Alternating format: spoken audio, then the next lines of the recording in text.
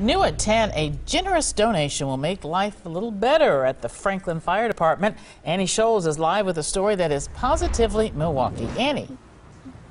Well, Carol, these guys work really hard, and this place is a second home for a lot of them. And the heart of any home is the kitchen, but theirs is falling apart. So a local cabinet maker stepped in to save the day.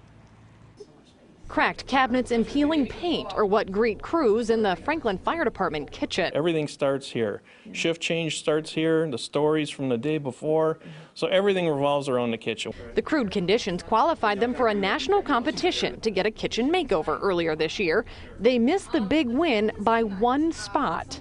We took it hard because we put a lot of work into it, but as it turned out, everything happens for a reason. That reason, local cabinet maker John Hoppy. He heard what happened and wanted to help. You can see it's a, a, white plastic product. There's not a lot of warmth, not a lot of want to come into this room. John decided to donate most of the materials they'll need for a big upgrade. Maple cabinets, granite countertops, and a lot more storage. I think by just simply by putting the wood and the earthy feeling of granite in here, it's gonna it's definitely gonna warm up the package. It's definitely gonna make the firemen feel at home. Yeah. And at a fraction of the cost to taxpayers, it's a fifty thousand dollar job for about seventeen thousand. Priceless when it comes to taking care of the guys who take care of us. Well, we're used to rescuing people, and all of a sudden somebody comes to us and wants to help us out. So it, it is really nice.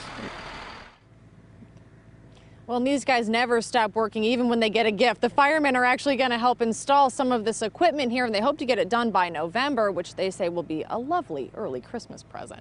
Reporting live in Franklin, Annie Scholz, today's TMJ4. What a wonderful gift. Thank you, Annie.